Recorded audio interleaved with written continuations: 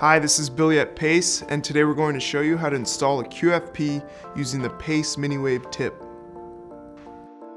Install the desired MiniWave tip to your handpiece and set the tip temperature according to the type of solder you'll be using. Position the component ensuring proper lead to land alignment. Once aligned, apply flux and tack solder the opposing corner leads.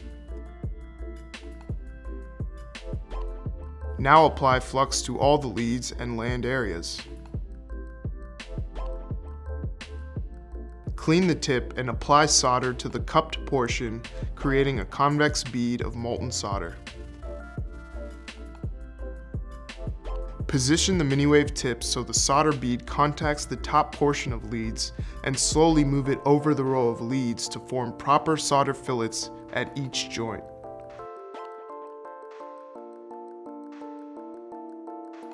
The MiniWave tip is available for the TD100 and PS90 soldering irons and comes in a variety of sizes to suit all your soldering applications. And please be sure to visit the PACE website for more details on PACE equipment and training. Thanks for watching.